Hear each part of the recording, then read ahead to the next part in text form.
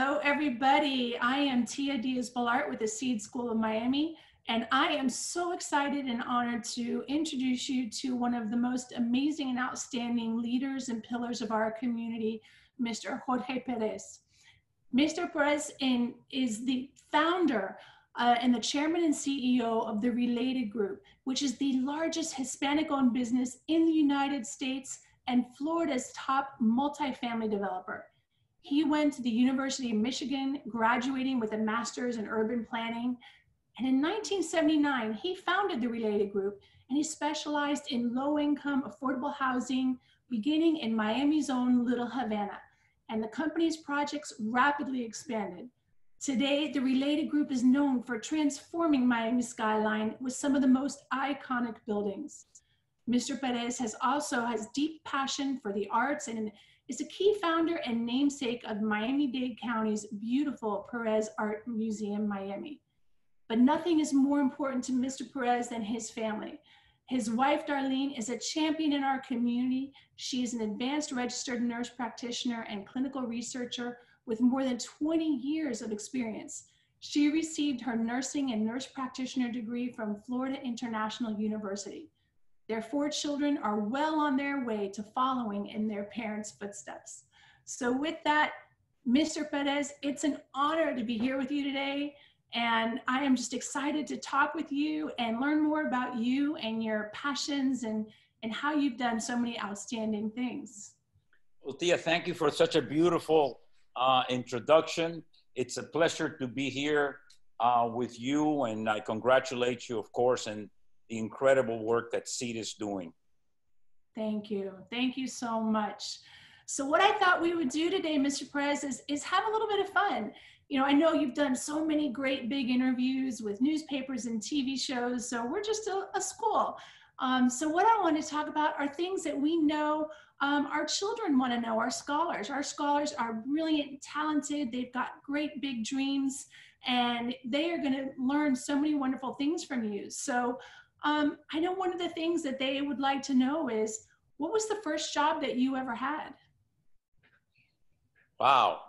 The first job that I ever had was actually here in Miami while I was going to school to help me pay for school. I was really not used to having a job. And I came from Colombia, South America.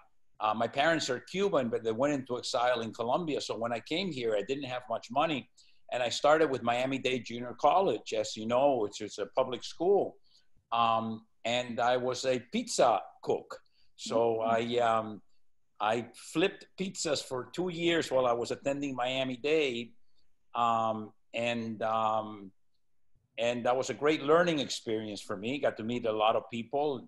Uh, so that was my first real job, you know, very hot job inside a kitchen uh, but it was a great learning experience. When, when I finally did finish school, I was very lucky to meet this Frenchman, and my first real job as a college graduate was as an international marketing consultant. So I would be telling European firms um, at age 22 um, what they should do to enter the US market and it was a, a, fabulous job. It taught me a lot about uh, people, what they needed.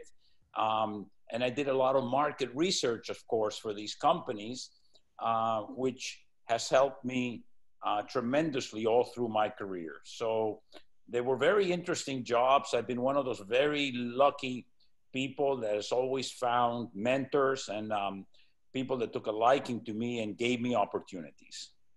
Outstanding, outstanding. Well, well, here's the real question then. Do you like or do you hate pizza now as a result of your first job? I love pizza.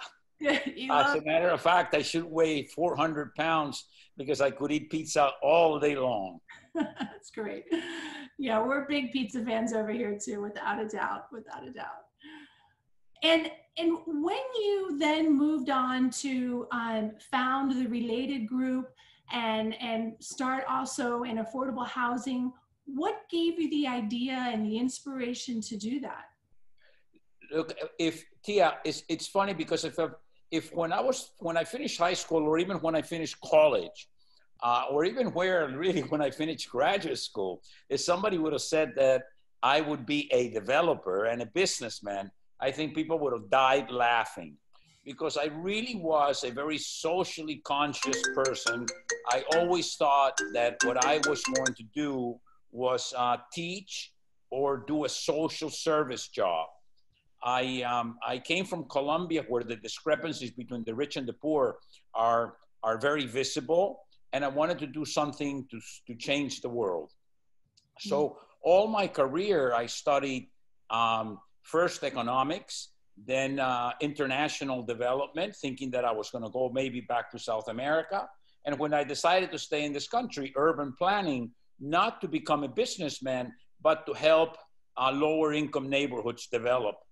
Um, so when I finished school at the University of Michigan, um, I got a job in the city of Miami um, as a planner. So I would go to lower income neighborhoods and really help them change you know, build roads, build water, build sewer, build schools, build community buildings, help them get jobs, and do all those type of development work, uh, which was very satisfying. And almost by mistake, um, I was doing uh, a job for as a consultant for a private company that involved finding buildings to rehabilitate with government programs to provide housing for the poor. Um, I loved it. You know, I all of a sudden said, my goodness, this is a way of doing public service and at the same time making money mm-hmm. um, and actually physically building buildings. Um, I started with buildings in Little Havana, in the area of Overtown in Miami, doing some very small buildings first as a consultant, and then I decided, well, if I if I can tell these people how to do it, maybe I can do it myself. And that's how I started with my first two buildings. One was uh, a 1920 um, building in Little Havana, 21 units, called the Orlando Apartments, and the other one was called the Buena Vista Apartments, and it was in in um, in Overtown in the Culmer area of Miami and I still own those buildings. They started, I did those in 1978, and um, 42 years later, we still own those little two buildings, and they're a great reminder for me of where I started. So I became a businessman and a developer almost by chance. Amazing, amazing! What what a beautiful chance that was, and you know what are being an entrepreneur it's it's got to be a little scary because everything's on your shoulders. So what's what's it like when you decided to step out on your own and and to take that and and and grow your business? What's it like to be your own boss and pioneer? Very scary right? I mean very scary. But i have this philosophy that fear either makes you become much better or it makes you become totally inactive so you can be afraid and sit back and say, no, I'm not going to take risks and let fear um, hold you back. Or you can say, my God, I really have to work twice as hard as anybody, or else I'm going to go broke and this is not going to work.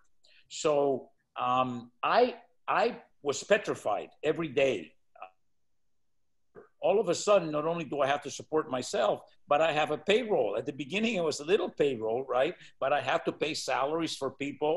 Uh, I had to pay loans to banks. Um, so it was very, very scary, the responsibility that you have not only to yourself, but others. And at the same time, I had a very young family then. Um, and uh, I, would be lying to you if I didn't feel like every day I was going to go broke. You know, I had to figure out where the money was going to come uh, to pay for all this. As a matter of fact, I'm still at age 70 and having the successful company, scared that every day something is going um, to happen that is wrong. But I think that's what keeps me on my toes. You know, that's what keeps me from being very competitive. You know, I feel that this country is a country with the greatest opportunities for success, but also the most competitive country in the world. If you're not the best at what you do, somebody's going to come in, do it better, and take your place. So we, I am, and the DNA of our company is very aware of that. We don't rest on our laurels, and every day we become better. It was just like when I went to school. I wasn't a great school. I wasn't great at high school. I think I was smart enough, but I wasn't applying myself. But then when I went to college, I started understanding that when you apply yourself, you start doing better, you start feeling better about yourself. And I became a very good student. Um, and I think this is a lesson that also came in with the way you see yourself and the way you understand that only through extreme hard work are you going to able to succeed.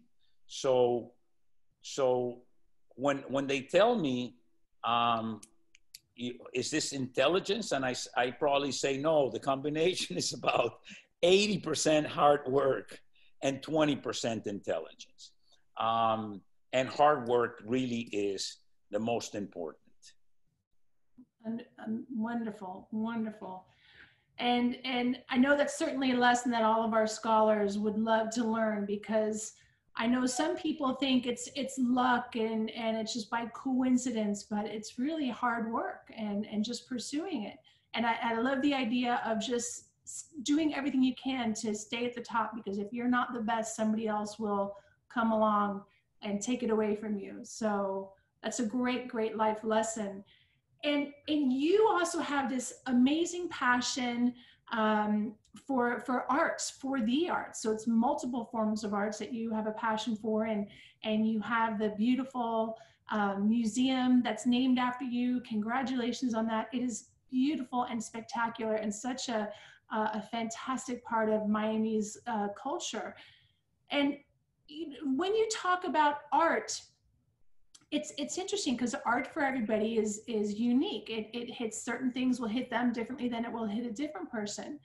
Is there anything in particular that for you as a connoisseur that you say, okay, this is these are the kinds of things that I gravitate towards and and and share a little bit about how you developed this passion for art? Yeah. Um from early on, probably kicking and screaming, my mother used to drag me to museums um, and I think this was important on creating that sense of um, love for beauty, uh, not just art. I love movies. I love things that are visual, you know, uh, that my eyes, you know, look at um, and, and, and, and help me understand the world around me. I think art has been proven to change people's lives in a very positive manner. So when you look at, for example, I was a member of the National Endowment of the Arts, which is the national organization that supports the arts. We did studies and we found out that the, the, the, the sooner children are exposed to art in their school curriculums and so forth and taken to museums, the better that they do, not just scholastically, but in their life skills art takes you away, at least takes me, and I think takes other people away from the day to day paths that we have. I think as a businessman, so my paths are fairly narrow, you know, and it allows me to expand creatively. So I love meeting with artists and looking at their work and trying to understand their work because the artist really explains in beautiful ways what has gone in the past, what is going on in the present, and helps you understand what is going on in the future. So art has made my life better. And that's why I think uh, that it's very important to me not to have a collection that is my collection, but a collection that goes to the whole community so they can experience the same things and grow in the same way through art as I have grown. So when people say, "Aren't you proud of the, what's the proudest that you're in at the on the Perez Art Museum?" And I always think back and I say, you know what it is? When all the public school kids come in free, particularly the younger ones, and they sit with their professors, their teachers, and the curators of the museum, and they're just for the first time looking at these great pieces of art and they're sitting on the floor and they're asking this incredibly imaginative questions. And you see that their minds are being open to new worlds um, that's what I am proudest of. And I think art is just like just like going through education and so forth and having a great job feeds the stomach. Art feeds the soul and the imagination. Wonderful, wonderful. And and I know that many of our seed scholars have had the chance to visit your museum. And as our new scholars come in, we're going to be sure, of course, that they all get to go there um, because it is something that everyone needs to see for sure and experience that uh, without a doubt. Um, what if if I can interrupt one second because I think it's important for you guys uh, uh, later on, and I will be so glad to invite you to both have a guided tours of um, of um, I volunteer actually for the guided tours of the shows that are going to be coming up, uh, up um, now. We are closed. We have two. We have the Museum PAM, which is the large museum, and then we have an experimental space called El Espacio in Allapattah, a neighborhood of Miami. Um, the first exhibit of El Espacio was the artist as a social change agent. So we got all these artists that talk about society and all the injustices of society racism, sexism, exploitation, capitalism, and all the inequalities in the world. And it was an extremely successful. We started getting all the high school students to come, and then COVID hit, unfortunately. But we had a great program of providing buses to all the public schools in Miami so they could come and attend. The next exhibit that we're hoping to open in November is being curated by a great African curator from South Africa. And the, the, the, it's going to be on African contemporary art, the largest exhibit done on, by African artists from the continent of Africa in the United States. At the same time, PAM is going to have one which talks about the diaspora, which is the relationship between African American artists in the United States and African artists in Africa. So those two collections together, those two exhibitions, should be an incredible job to see how people of color have contributed and the, the, the intelligence and the creativity of those artists. It's a very important show for me. You know, I do, I have collected um, in a very intensive way art from Africa, contemporary art from Africa, just like I've collected contemporary art from Latin America. So you're all invited, and I am sure that you will enjoy. It really is going to be an incredible exhibition. Thank you for that. We will love it. I know our whole team, all of our scholars would be just cannot wait. That would be wonderful. We look forward to it. And and aside from from art and how hard you work, do you have any other hobbies? Any other things that you do to relax or in your spare time? Or do you have any spare time? um, I think, I'm, you know, in my old age, I am pretty good at combining almost seamlessly what is, um, what are the different hats that I wear. And I would break it down into four, actually five areas where I split my time. I, I, I exercise my body so I can, so I'm still stay alive. And I do mm-hmm. that mostly through tennis. I am a passionate tennis player no longer as good as I used to be, but still a pretty competitive tennis player. So that's a bit. My family, of course, is the most important, and I try to spend as much time as fa- uh, of family time as I can.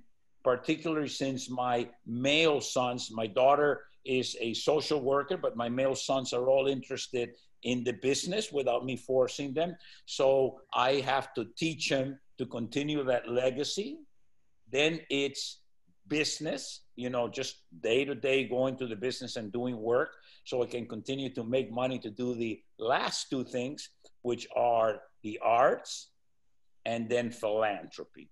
Philanthropy consumes a huge part of what I make myself and our family does. So um, I belong to something called the Giving Pledge, in which I've pledged that 50% of whatever I'm worth goes to uh, philanthropy. It goes to uh, charitable organizations, schools, education, art, um, poverty, inequality, all those type of things. And um, that's become a very, very big part of our, uh, of our daily life. We have a foundation um, with several people working in it, and that's all they do full time um, under, uh, under my guidance.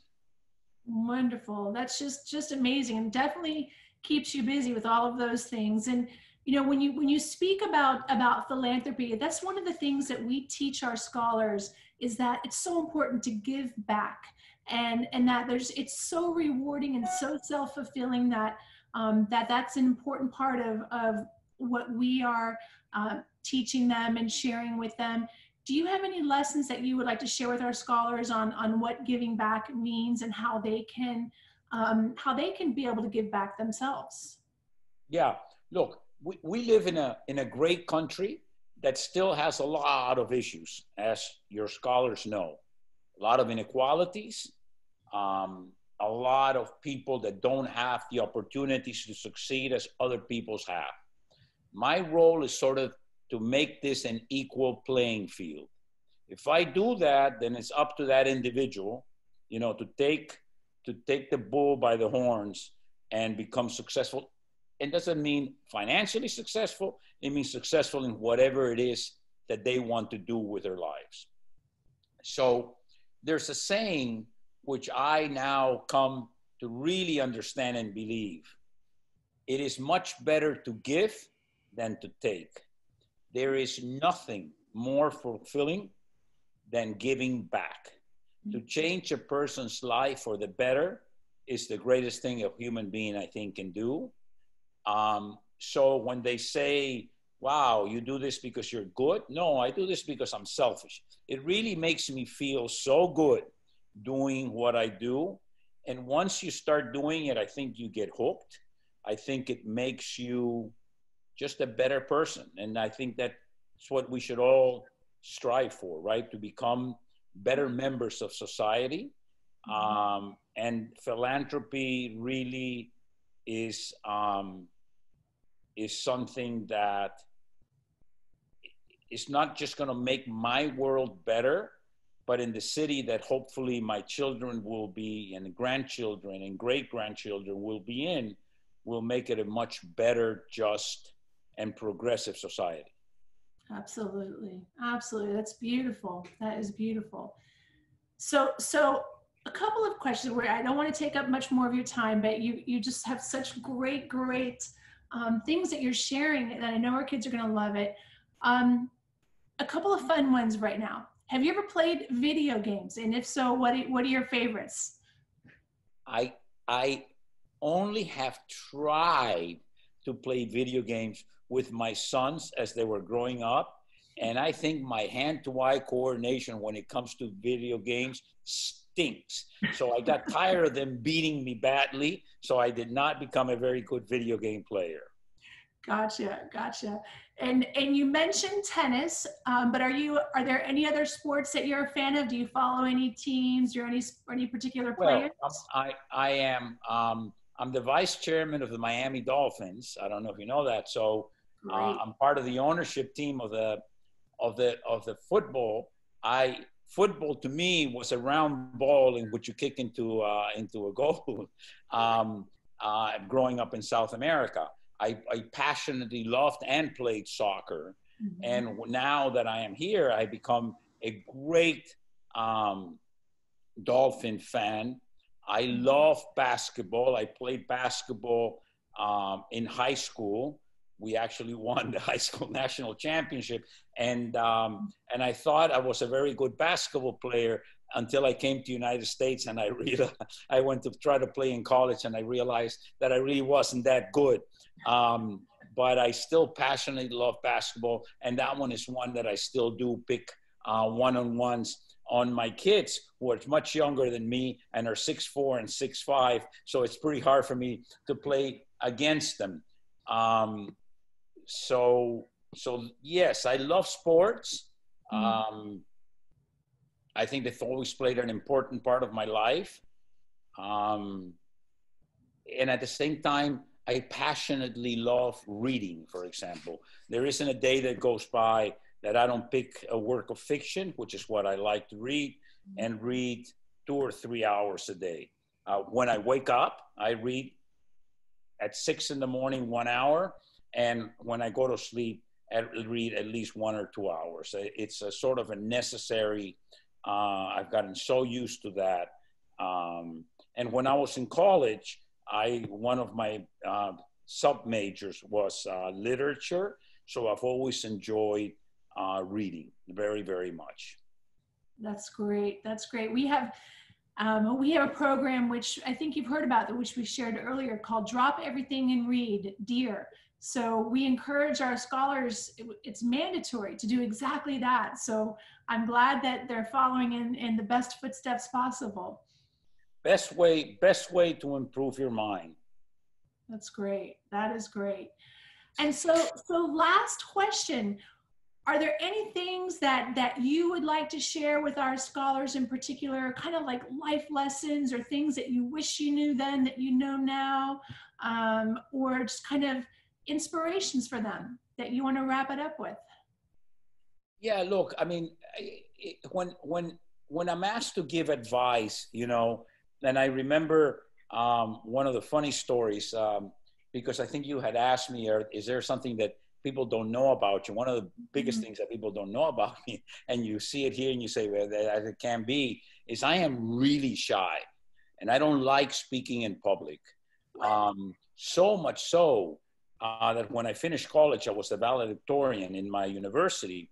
And uh, I was so afraid of public speaking that I quote and unquote got sick and I really wasn't sick, just so I would not have to be valedictorian and have to give a speech in front of all these people. So again, you really work through your deficits, right? So this wasn't what I was good at. I had to really work twice as hard in order to get um, to to move away from that fear of public speaking, fear of being with people. I'm still not great at it, and it takes a lot of effort for me to do it. Um, but in order for you to be successful in almost everything, you have to do it. The other thing that I think is most important as they are growing up is that life is very tough. Regardless of what you do, um, it's, it's what it's called work, right? Mm-hmm. Um, it's not called pleasure. Um, so it is really, really important as you decide what you want to do in life that you don't make those decisions based on money, but you base those decisions on what you have a passion for.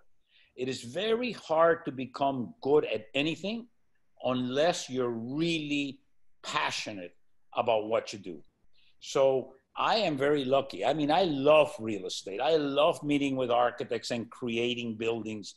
So for me, I feel like the basketball player that says, I don't know how they pay me for this when I love doing this, even if they wouldn't pay me for this. Well, that's the way I feel about real estate and the things that I do. So as as as you become more and more knowledgeable what about what your real passions are, pursue those, pursue those aggressively but don't get into something that is not for you. It, it, is, it is the easiest way to be sad and to be probably unsuccessful. Outstanding. What, what great words of wisdom. And I think that alone is probably one of the single most difficult issues that our young scholars are facing is because they're trying to decide their whole futures. What are their careers going to be? What path do they follow?